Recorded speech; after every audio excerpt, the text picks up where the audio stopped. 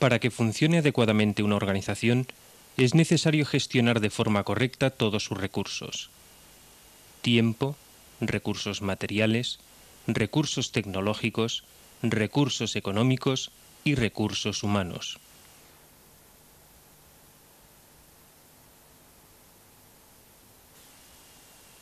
Para evitar confusiones, vamos a dejar claro desde el principio cuáles son los dos objetivos fundamentales de una empresa. Satisfacer las necesidades de sus clientes y obtener beneficios. Recientemente están apareciendo nuevas ideas que pretenden incorporar a la idea de empresa finalidades y atributos que no le corresponden.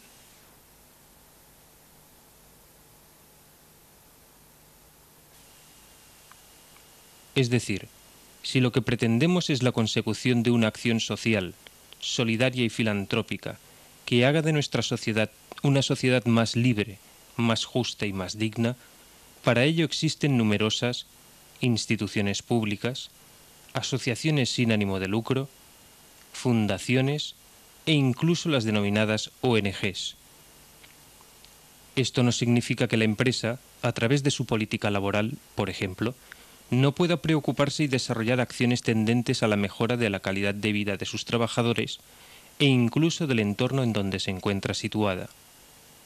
A modo de ejemplo, vamos a exponer dos ideas, dos tendencias muy actuales que nos ilustrarán lo que estamos comentando. Una de ellas es la nueva actitud frente al medio ambiente.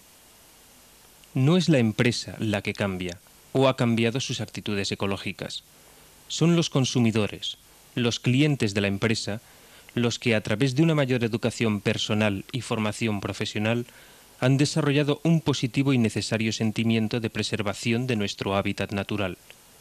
Por tanto, la empresa debe responder a esta nueva sensibilidad de sus clientes y satisfacer apropiadamente esta nueva actitud. Políticas de minimización de residuos, gestión apropiada de estos y nuevas líneas de producción limpia. Resultado, clientes satisfechos y mayores beneficios para la empresa.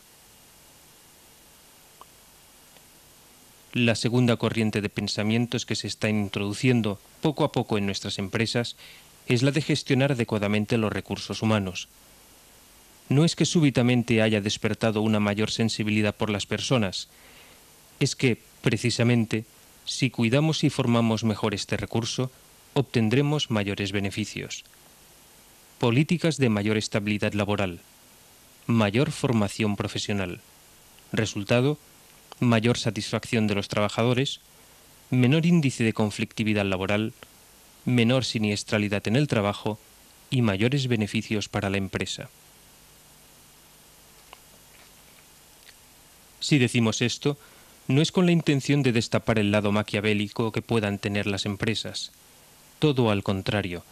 Nuestra intención es la de dignificar el sentido y el concepto de empresa y, por tanto, el de las personas que las dirigen y las integran. Una empresa es, básicamente, una aventura, una idea, un sueño que pretende hacerse realidad a partir de un escenario y unas reglas de juego. La dirección de las empresas jugará mejor este juego si comprende cuáles son las motivaciones del ser humano, tanto del trabajador como del cliente, y sabe adaptarse y responder de manera apropiada a los cambios que se suceden día a día.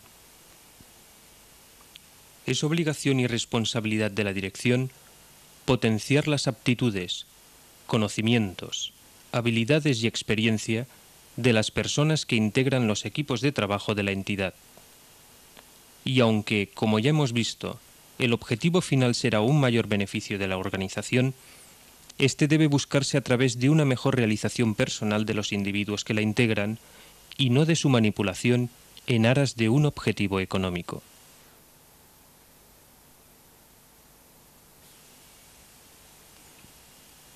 Resumiremos este primer capítulo recordando cómo los activos más importantes que tiene una empresa son sus clientes y sus trabajadores.